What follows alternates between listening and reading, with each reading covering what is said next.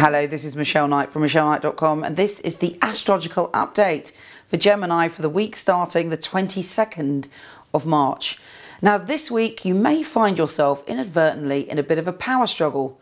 It doesn't have to be a power struggle with someone else, it could be a power struggle within yourself.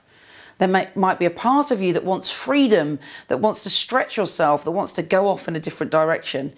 And the other part of you is saying, no, I've got to have stability. Find that peace within by perhaps meditating or doing something that just centers you for a moment so you know which is the right decision. Otherwise, you could be rushing around this week, changing your mind every five minutes and confusing not only yourself, but possibly someone else in terms of your relationships, you're feeling quite romantic. You want to go on a trip, a voyage of discovery. There's a part of you that wants to escape your normal and usual environment and do something different.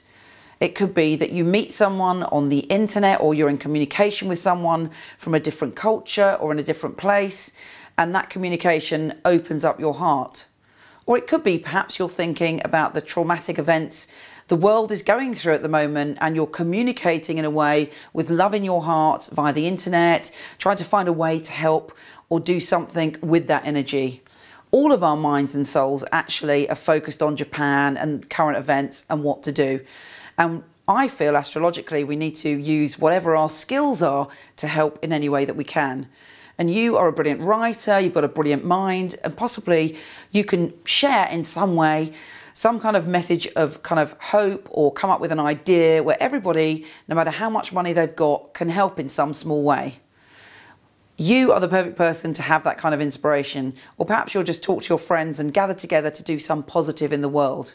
Either way, your mind will be on other cultures and other countries, and possibly the desire to go on an adventure. There really is no need to have an internal struggle or even a struggle with someone else. Once you're centered and in your heart, you'll know exactly what to do. Take care, and I'll speak to you soon.